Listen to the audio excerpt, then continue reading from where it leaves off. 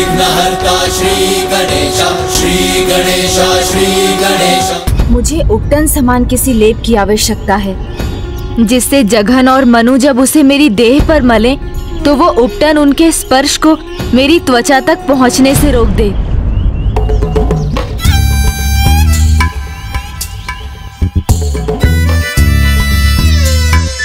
नारियल के वृक्ष पर चढ़ना हमारा काम नहीं है भैया जघन। चलिए लौट चलते हैं। कह देंगे कि हमें नारियल नहीं मिला। और वैसे भी माँ अपना विशैला तेल तैयार कर चुकी होंगी। नहीं भ्राता वो कोई साधारण बालक नहीं है। बहुत चतुर है। यदि हम खाली हाथ लौटे तो उसे हम पर संदेह हो सकता है।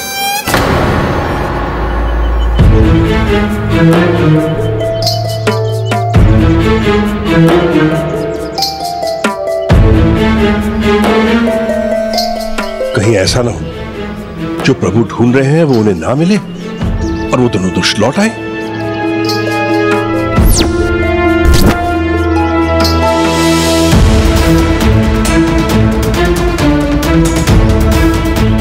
ये देखो कहा था ना? मिल गया नारियल?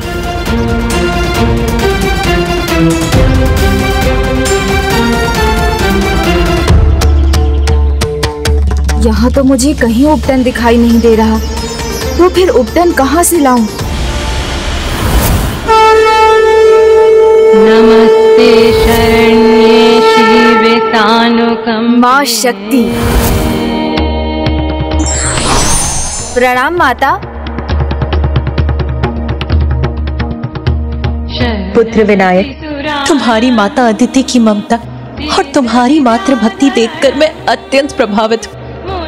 कहो पुत्र मैं तुम्हारी क्या सहायता कर सकती हूँ?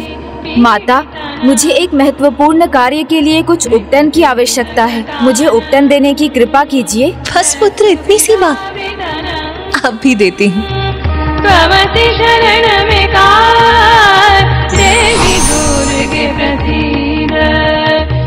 ये लो पुत्र। देवी माता इतनी ममता से आपने मुझे पुत्र बुलाया। इतने स्नेह से मुझे उपटन दिया। मैं वचन देता हूँ माता। मैं भी आपके प्रति पुत्र धर्म निभाऊँगा।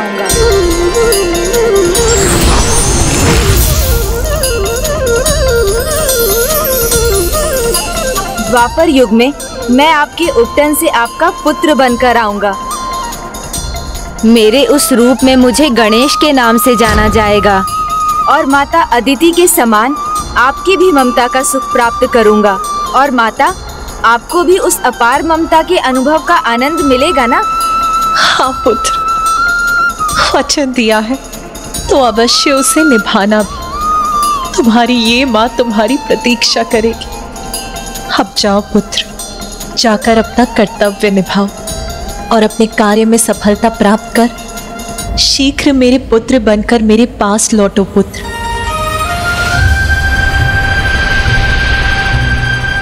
अर्थात मुझे तब भी ज्ञात था कि आगे चलकर मैं माता पार्वती का पुत्र बनकर अवतार लूँगा। अब दूसरा वचन जो मैंने विनायक के रूप में माता अदिति को दिया था कि मैं एक बार उनसे मिलने अवश्य आऊँगा।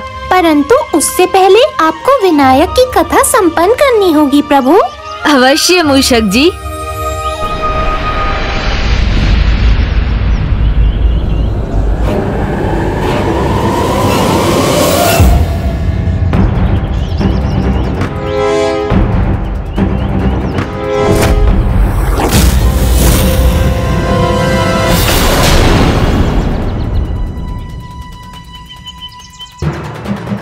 प्रभु आप जो ढूंढ रहे थे मिला आपको? मिल गया नारियल। अतिथि को निराश करना हमारे स्वभाव में नहीं है। हाँ कठिन अवश्य था परंतु हम आपके लिए नारियल ले आए और वैसे भी अतिथि तो हमारे लिए भगवान के समान है।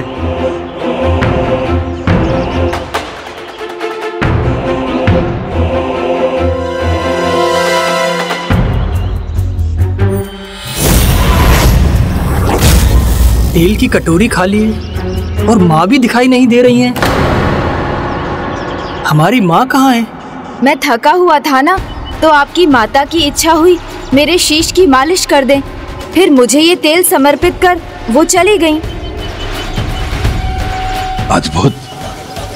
प्रभु ने असत्य भी नहीं कहा और इन दोनों को ज्ञात भी नहीं होने दिया कि उनकी माँ कहाँ गई। माँ कदाचित समझ गई होंगी। इस पर तेल का प्रभाव नहीं पड़ा तो माँ चली गई। इसलिए जो भी करना है हमें ही करना है। क्या हुआ? आप दोनों क्या खुसुर पुसुर कर रहे हैं? विचार कर रहे थे कि आपकी सेवा कैसे करें? माँ ने आपके सिर की मालिश तो कर दी होगी। लाइए हम आपके पैर की मालिश कर देते हैं। हाँ हाँ अवश्य। मैं भी तैयार हूँ और राजन भी। किंतु तेल की कटोरी में तो कुछ भी नहीं है। फिर आप कैसे मालिश करेंगे? वैसे माता ने मुझे ये उपटन दिया है। इससे मालिश कर दीजिए। चतुर माँ अपनी तैयारी करने के बाद ही यहाँ से गई है। और वैसे भी उपटन हो या तेल हमें क्या करना है? हमें तो बस इसे स्पर्श करना है और इसकी शक्ति सोखनी है।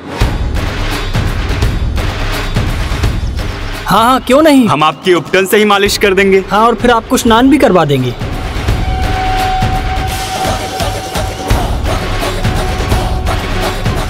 हाँ अब आपके पैरों की थकान मिटाने की बारी है। आइए।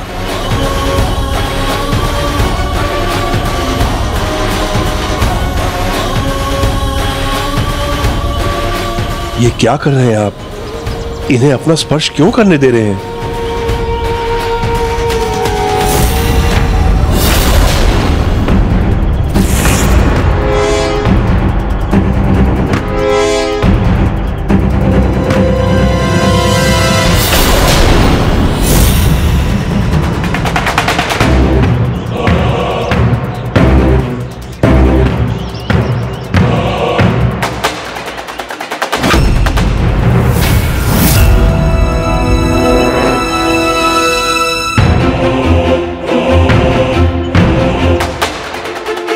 समझ नहीं आ रहा है ये हो क्या रहा है?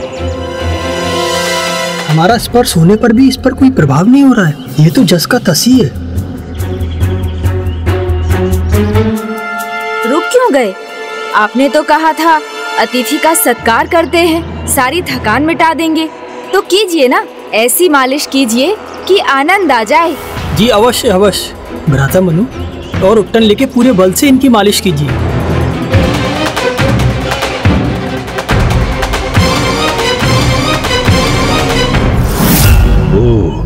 अब समझा ये है विनायक की युक्ति।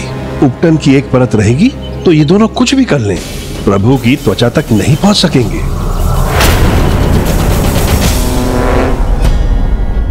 हाँ हाँ अच्छे से मालिश कीजिए।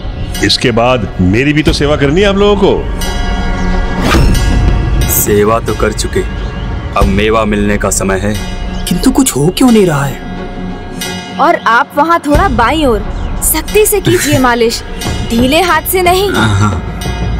ओहो अब आपको भी बताना पड़ेगा क्या? सख्ती से कीजिए ना। थकान मिटाने वाली मालिश कीजिए दिखाने वाली नहीं।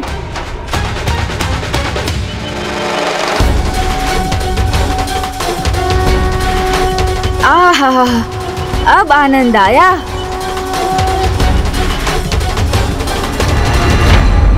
क्या हुआ?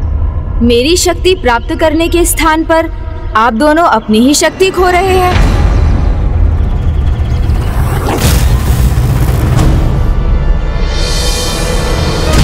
इसमें चकित होने की क्या बात है? यही योजना थी ना आप दोनों की? इसको ज्ञात था। अर्थात ये हमारे साथ क्रीड़ा कर रहा था और हमसे अपनी मालिश करवाया जा रहा था। ए बालक हमारी माता कहाँ है? तूने उनके साथ क्या किया? मैंने कुछ नहीं किया। हाँ पर मैंने उन्हें सत्य का आभास अवश्य कराया और जिसे अपने पाप कर्मों का आभास हो जाता है और जो शरणागत हो जाता है वो क्षमा का अधिकारी हो जाता है। मैं धूम्राक्ष पुत्र जगन हूँ। इतनी सरलता से हार स्वीकार नहीं करूँगा। और मेरा तो स्वभाव ही है मैं पराजित होता नहीं करता हूँ।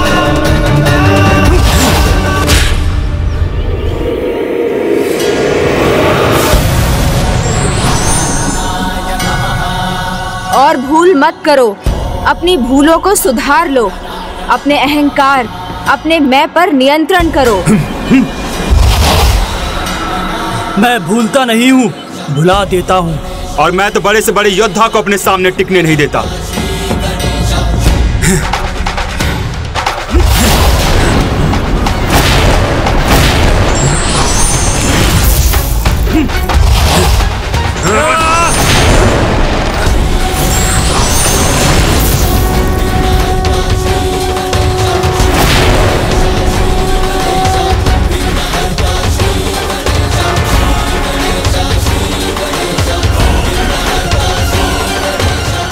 इसी नारियल से आघात करेंगे।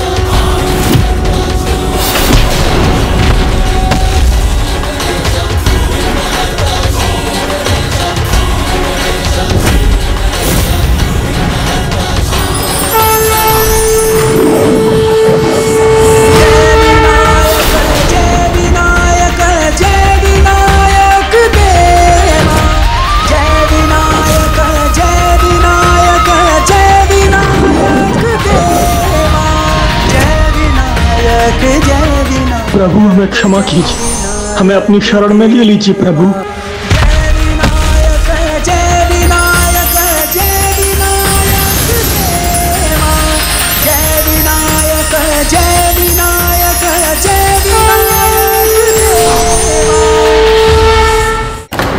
आप असाधारण हैं अद्भुत हैं।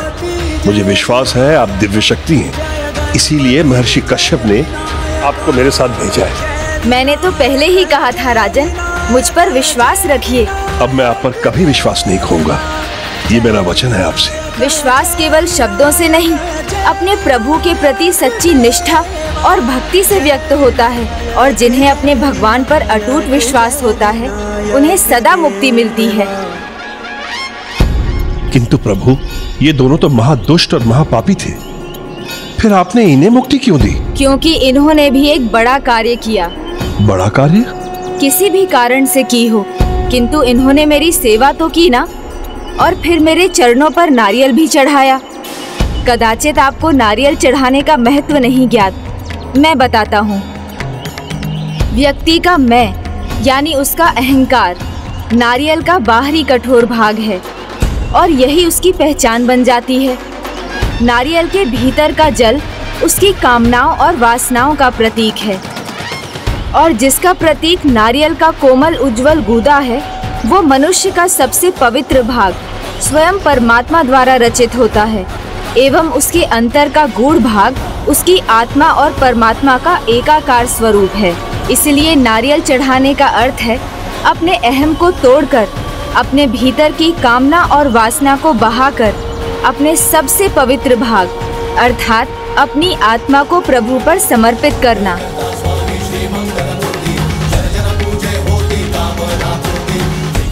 और जब स्वयं का समर्पण हो जाए, फिर जो शेष बचता है, वो प्रभु का प्रसाद ही तो होता है, जिसको संपूर्ण मानव जाति के साथ बांटा जाता है।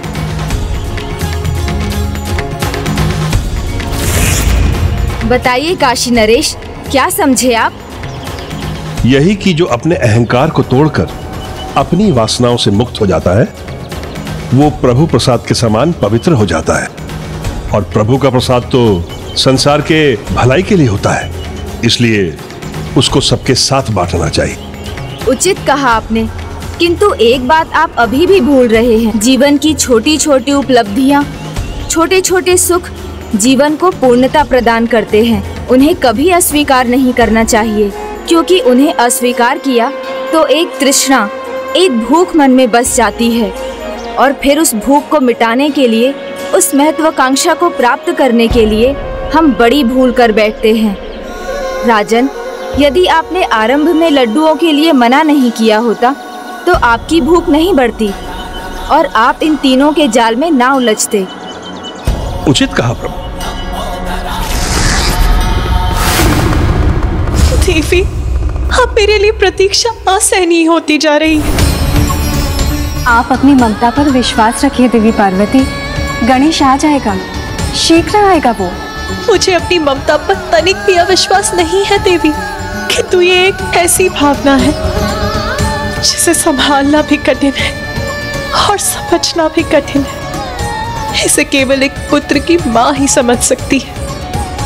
कदाचित आप इसे नहीं समझ सकेंगी, देवी लक्ष्मी।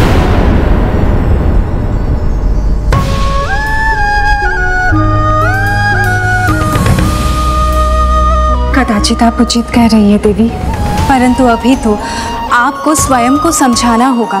थोड़ी सी प्रतीक्षा करनी होगी आपको। क्योंकि अभी तो गणेश अपने पूर्व अवतार को लेकर अपनी सभी जिज्ञासाएँ शांत कर रहा होगा।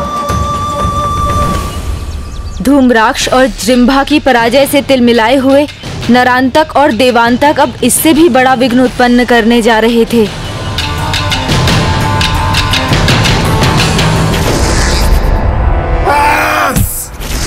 कोई युक्ति नहीं चलेगी।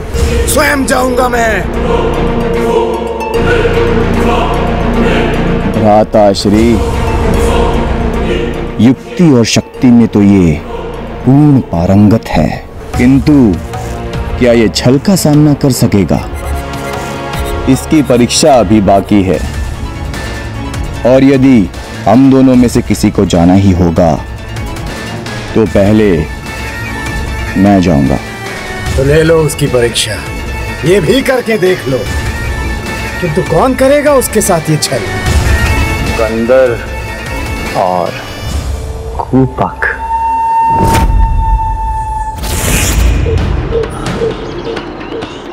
बहुत प्यास लग रही है। जल कहीं दिखाई नहीं दे रहा।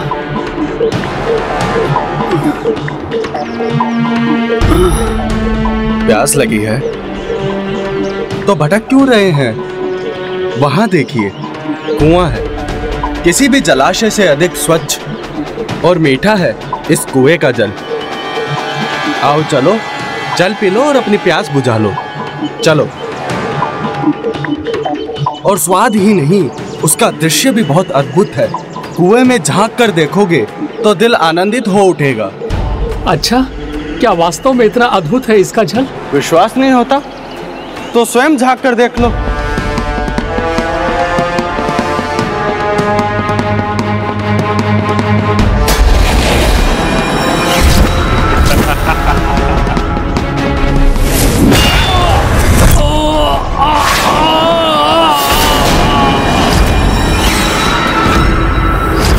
वाह कंदर वाह। आनंद आ गया। हाँ कंदर। छल करना तो कोई तुमसे और खूपक से सीखे। प्रणाम प्रभु। प्रभु आप यहाँ क्यों आए? यदि हमारे लिए कोई कार्य था तो हमें बुला लेते। कार्य है कंदर। एक अत्यंत महत्वपूर्ण कार्य है जो तुम दोनों को शीघ्र करना है।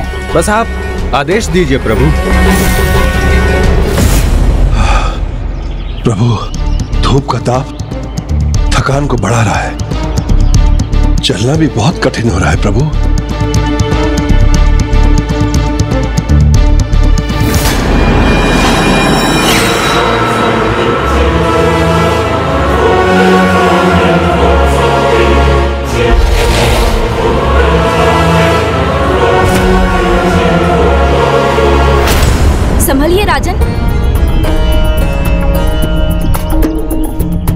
तो विश्राम के बाद ही चला जाएगा प्रभु। मुझे प्यास भी लगी है। थोड़ा थोड़ा जल चाहिए विनायक।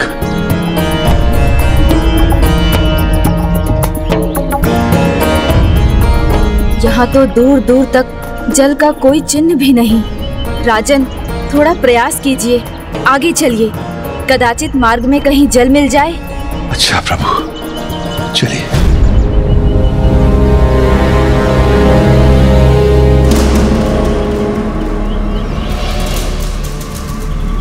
क्या हुआ पुत्र? इतने व्याकुल क्यों हो? क्या चाहिए तुम्हें? प्रणाम ऋषिवर। प्रणाम ऋषिवर। जल। थोड़ा जल चाहिए। हाँ लीजिए ना। ओह मुझे तो ध्यान ही नहीं रहा। मेरा कमंडल तो खाली हो चुका है। इसका तो जल मैं ही पी गया। किंतु चिंतित ना होइए राजन। निकट में ही जल का कूप है जिस पर स्वयं देवताओं की कृपा है जिसमें सदा ही जल रहता है। उसके दिव्य जल की चमक तो बहुत ही आनंददायक है जैसे प्रभु का आशीर्वाद हो। उसके जल के पान से तुम पुण्य के भागी बनोगे पुत्र। ये ऋषि इस कूप की कुछ अधिक ही प्रशंसा कर रहे हैं। उचित है ऋषिवर इतना अद्भुत कूप है मैं मना कैसे कर सकता हूँ? चलिए मुझे उसके निकट ले चलिए। नहीं, राजन। पिताश्री ने मुझे आपकी सहायता के लिए भेजा है तो आपके लिए जल लाने का कर्तव्य भी मेरा है। उचित। हाँ राजन, आप थके हैं। मैं इस बालक को कूप दिखा देता हूँ। चलो, बालक। ऐसा क्यों लग रहा है? मैंने इन ऋषि को पहले भी कभी देखा है। ऐसा अद्भुत जल है इस कूप का जैसे इसमें जल नहीं अमृत हो।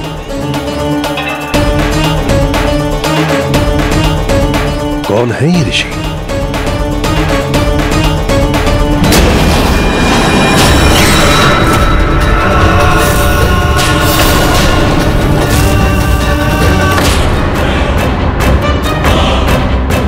मैं कंदर हूँ। त्रिलोकाधिपति देवांतक को नरान तक का दूत हूँ। तुम्हें उनकी अधीनता स्वीकार करनी होगी। ये तो वो दुष्ट असुर है।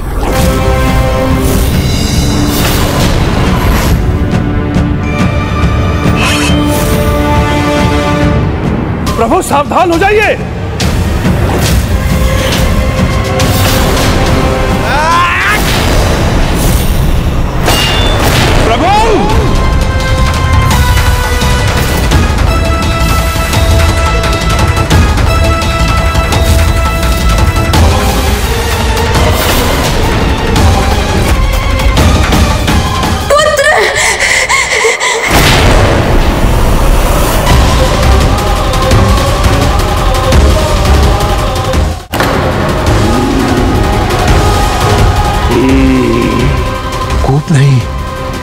आसुरी छलता ही किंतु आश्चर्य है प्रभु आपकी दृष्टि में भी नहीं आया। आप भी इसमें उलझ गए। क्या हुआ काशी नरेश? तुम्हारा रक्षक तो स्वयं अपनी रक्षा की गुहार लगा रहा है। दुष्ट असुर ये कैसा पाप किया तूने? पाप क्या पुण्य क्या? सब हार और जीत पर निर्भर करता है काशी नरेश। और यहाँ हमारी जीत हुई है। और तुम उस बालक को अब कभी नहीं देख सकोगे। मैं ऋषि कश्यप को क्या उत्तर दूँगा? उनके पुत्र को कैसे संकट में डाल दिया मैंने? उत्तर? क्यों व्यर्थ में चिंता करते हो राजन?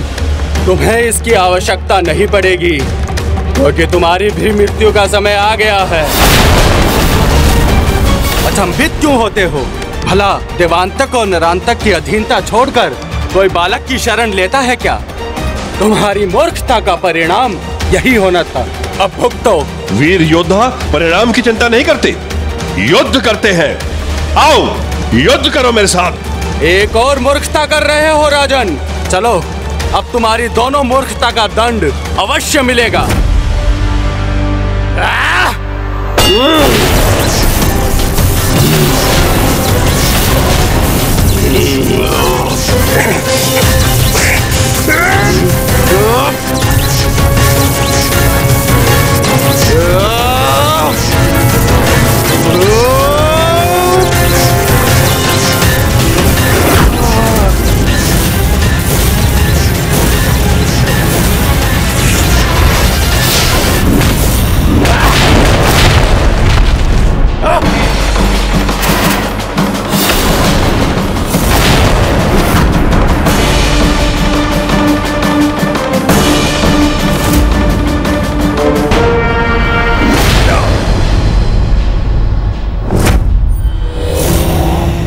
राजन अब अवसर नहीं दूँगा तुम्हें। मुझ पर दया करने वाला जीवित नहीं रहता राजन।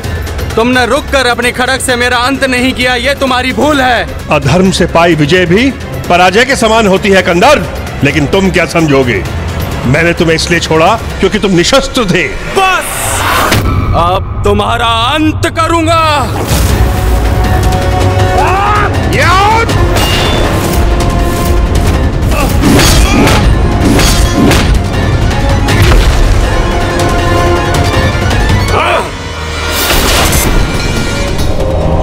यही योद्धा का धर्म है राजन। इसका उदाहरण अब मैं दूँगा। तुम्हारे निशस्त्र होने पर भी रुकने की मूर्खता नहीं करूँगा।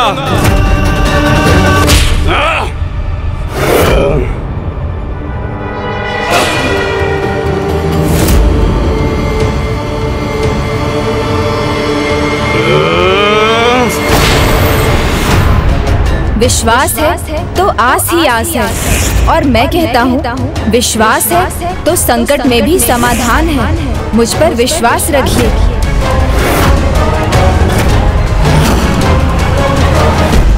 विनायक! विनायक!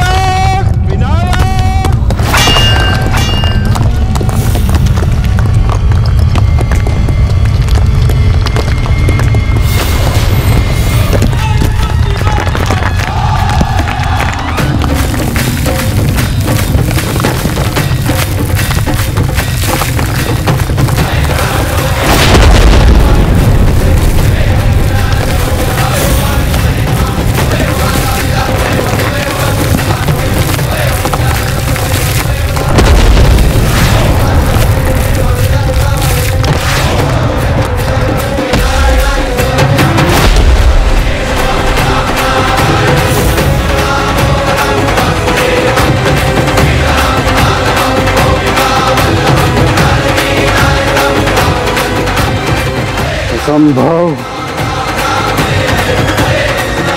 पितृकूपक का निर्मम वध कर दिया इसने। कैसे?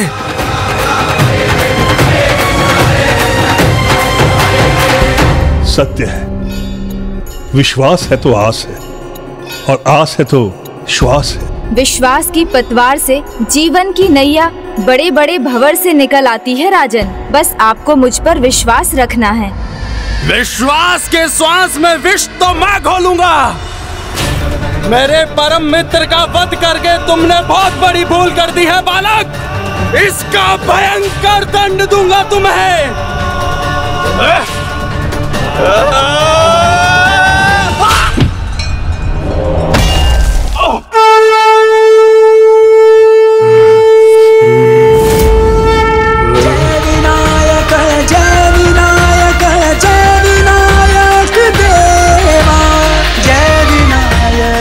अद्भुत विनायक जय विनायक देवा। जय विनायक देवा जय विनायक जय विनायक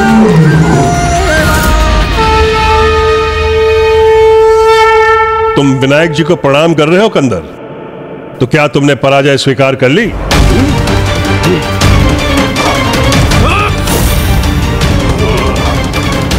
प्रणाम। ना पराजय, कुछ नहीं था वो।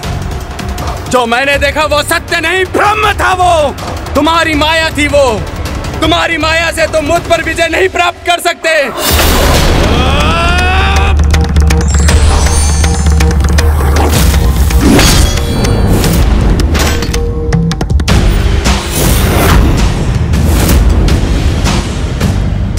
निशस्त्र योद्धा पर वार करने वाले पराक्रमी नहीं, भीरू होते हैं। और ये तो धर्म के विरुद्ध भी है। इसलिए उठो असुर, अपना अस्त्र उठाओ।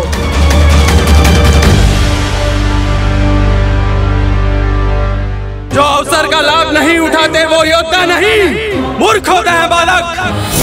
तुम भी वही मूर्खता कर रहे हो, जो काशी नरेश ने की थी।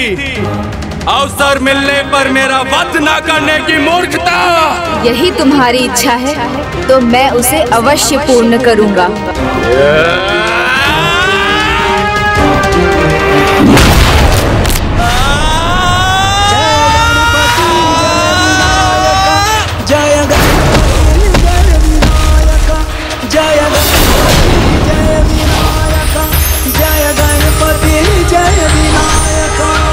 अद्भुत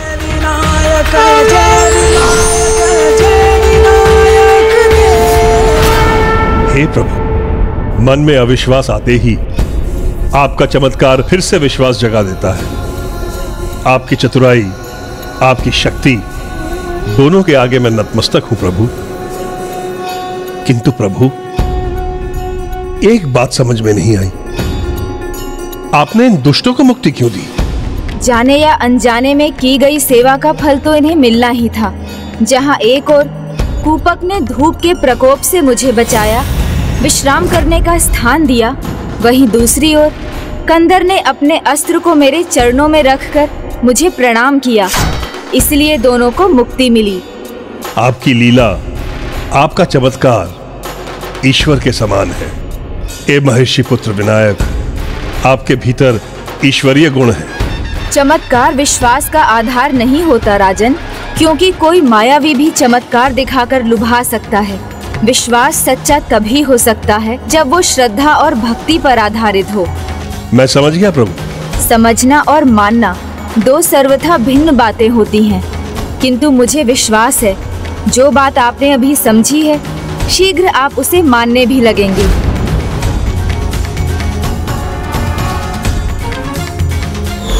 ये आप क्या कह रहे हैं प्रभु? ये मैं नहीं समझ सका। उचित समय आने पर आप सब समझ जाएँगे।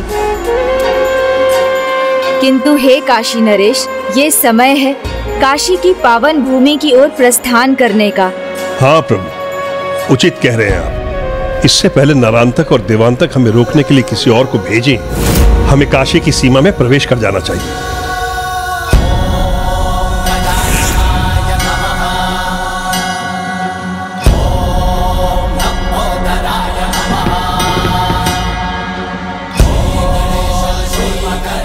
काशी तो हमारे सामने है।